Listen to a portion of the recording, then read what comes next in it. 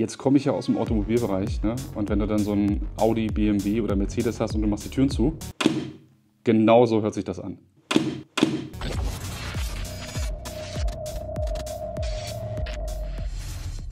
In dieser Box befindet sich der eQuid One.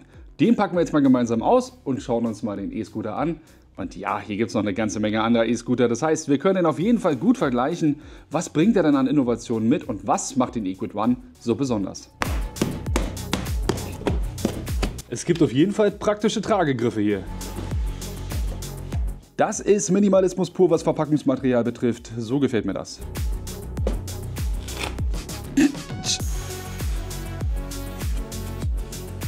Lasst uns mal schauen, was im Lieferumfang enthalten ist. Zum einen die Datenbestätigung für unser Kennzeichen. Alles schön verpackt hier. Ne?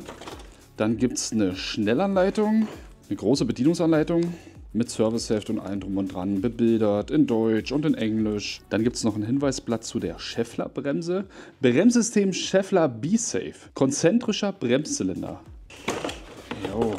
Dann gibt es auf jeden Fall noch ein Toolset, brauchen wir gleich, um den Roller zusammenzubauen. Unsere Schlüssel, die brauchen wir zum einen, um das Akkufach zu öffnen und zum anderen ist das für unser Schloss gedacht, denn wir können unseren Roller ja anschließen. Eine Ventilverlängerung. Dann unsere Schlossöse. Ihr habt ja ein integriertes Rahmenschloss. Das führt ihr dann ein, verriegelt und dann seht ihr schon, dass ihr hier genügend Platz habt, um da euer Schloss durchzuführen, um euren Roller sicher anzuschließen. Einen Euro-Stecker für unser Ladegerät.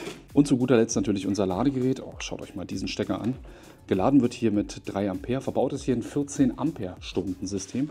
Bedeutet, in gut 5 Stunden ist euer Roller wieder voll. Lieferumfang ist erstmal richtig lecker, gut verpackt, alles dabei, was es braucht. Und jetzt bauen wir erstmal einen Lenker an. Aber ganz ehrlich, die sind schon extrem detailverliebt. Ne? Schaut mal hier, ein Schlüsselanhänger von eurem Equid One. Das ist doch mal cool.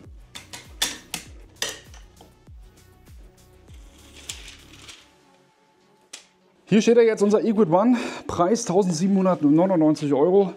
Das Ganze kam richtig gut verpackt daher, 5 Minuten Aufbauzeit. Sehr innovatives Fahrzeug, zumal wir ja Spiralkabel jetzt hier in dem höhenverstellbaren Lenker versteckt bekommen haben, damit dieser Roller einen komplett cleanen Look bekommt. Ja, schwer, 23,8 Kilogramm, Zuladung 125 Kilogramm. Wir haben einen federgelagerten Hauptständer, das heißt, wenn ich den Roller jetzt anhebe, dann klappt der Ständer automatisch ein.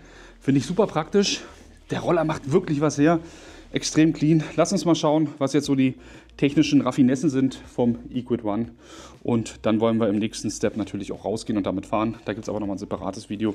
Jetzt schauen wir uns mal ganz kurz die Specs und Details an.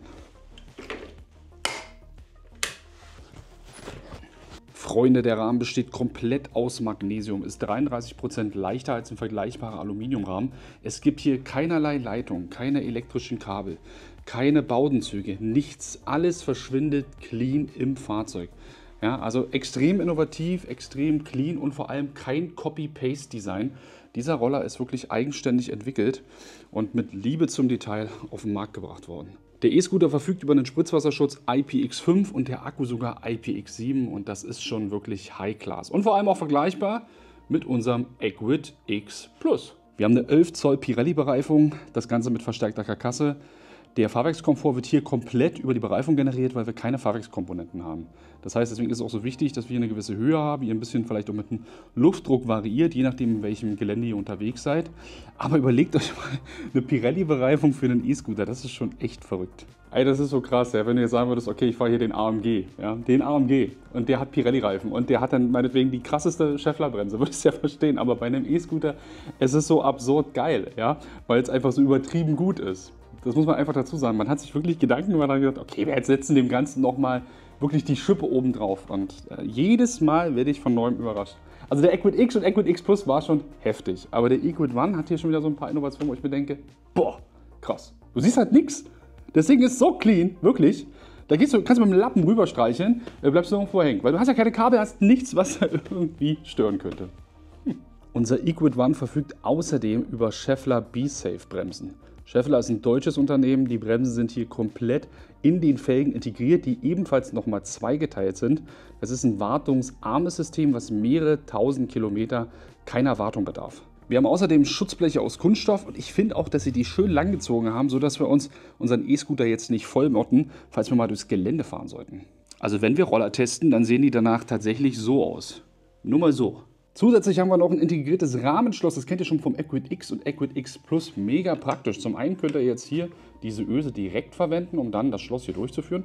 Oder ihr benutzt das Equid Made by Texlock Schloss, was man speziell für Equid und halt eben dieses Rahmenschloss entwickelt hat. Also super praktisch und ihr könnt den Roller überall anschließen. Jetzt ziehe ich den Schlüssel hier ab und stecke ihn mal hier unten rein.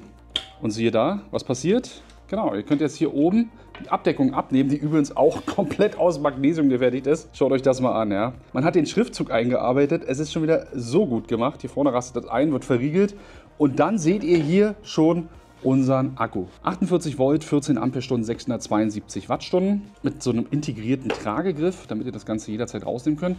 Super clean gemacht. Schaut euch mal den Controller mit den Kühlrippen an. Ihr könnt jetzt hier den Stecker rausnehmen. Das ist ein bisschen fummelig, finde ich. Und jetzt einfach den Akku rausnehmen. Thema erledigt. So sieht das Ganze jetzt aus. Wiegt auch nicht so viel. Da sind auf jeden Fall Samsung-Zellen verbaut, das kann ich euch schon mal sagen. 14 Ampere-Stunden bis zu 65 Kilometer Reichweite. Und dann habt ihr hier ein super cleanes Gehäuse. Und dadurch, dass dieser Akku halt eben gekapselt ist, die Stecker natürlich nochmal in sich jetzt hier mit Schraubverschlüssen versehen sind, habt ihr hier hinten zwar ein Loch, aber das dient tatsächlich dazu, dass wenn sich hier mal Wasser ansammeln sollte, das Wasser auch ablaufen kann. Wirklich, IPX7 für den Akku, IPX5 fürs gesamte Fahrzeug, das ist der Oberknaller. So, jetzt muss ich als Grobmotoriker nur gucken, dass ich den Stecker hier wieder raufbekomme. Aber hat funktioniert. Laden könnt ihr das Ganze natürlich auch mit dem dazugehörigen 3 Ampere Ladegerät. Hier ist die Ladebuchse und auch hier wieder. Ne? Also das steckt nicht einfach nur drauf, das saugt sich förmlich an jetzt hier. Die Ladebuchsenabdeckung, ah, das schreit eigentlich danach, dass wir da mal den Gartenschlauch reinhalten. Aber ich klemm's mir lieber. Jetzt komme ich ja aus dem Automobilbereich. Ne? Und wenn du dann so ein Audi, BMW oder Mercedes hast und du machst die Türen zu, genau so hört sich das an. Bei dem Motor handelt es sich um den Brushless-Motor. 48 Volt, 500 Watt, Nennleistung, 1000 Watt Spitzenleistung bei 35 Newtonmeter. Wir haben außerdem durchgezogene Schutzbleche aus Kunststoff, die sehen richtig gut aus. Und am coolsten finde ich wirklich dieses umrahmte Kennzeichen mit dem LED-Rücklicht samt Bremslichtfunktion. Äh, das sieht doch mal fresh aus. Nicht zu vergessen diese Gummilippe hier. Ne? An der Längsseite befindet sich noch ein kleiner Haken. Da könnt ihr Einkäufe bis zu 1 Kilogramm ranhängen. Jetzt kommen wir zu einem Highlight, denn ihr könnt den Lenker noch in der Höhe einstellen. Super einfach, super praktisch. Lösen, rausziehen, festmachen, fertig. Und seid ihr dann erstmal am großen, breiten Lenker angekommen, verfügt dieser auch über Lenker-Innenblinker, die zum einen nach hinten und einmal nach vorn abstrahlen. Hinten haben wir jetzt keine Blinker, aber dadurch, dass der Lenker so breit ist, werdet ihr trotzdem im Straßenverkehr gut wahrgenommen. Ergonomische Handgriffe runden das ganze Konzept jetzt noch ab und man kommt auch sehr gut an die Bremse, die einen guten Druckpunkt bietet. Die Bedieneinheit für unser Display ist echt der Oberknaller, weil sie halt einfach mal nahtlos ist. Ne? Das geht alles in einem Guss über, Fahrstufen plus minus, dann hier die Hupe. Okay, die ist ein bisschen gewöhnungsbedürftig, aber doch ziemlich laut und unsere Tasten für die Blinker rechts und links. Und nicht nur das Bedienfeld auf der linken Seite, nein, auch der Daumengashebel sieht extrem innovativ aus, hat hier so eine kleine Ausbuchtung, sprich ergonomisch geformt für meinen Daumen.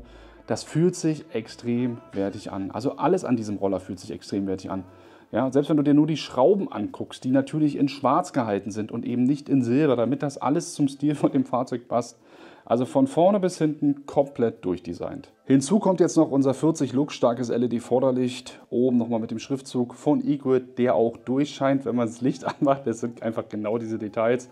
Reflektor vorn und die Hupe befindet sich dann direkt darunter. Außerdem haben wir noch eine USB 2.0 Ladebuchse. Geladen wird hier mit 3 Ampere und darüber befindet sich dann direkt unser On-Off-Taster. Hier könnt ihr also den Roller ein- oder ausschalten. Und natürlich verfügt unser Equid One über ein 3,5 Zoll TFT-Display. Also das kann man erstmal super ablesen, hat eine schöne Größe.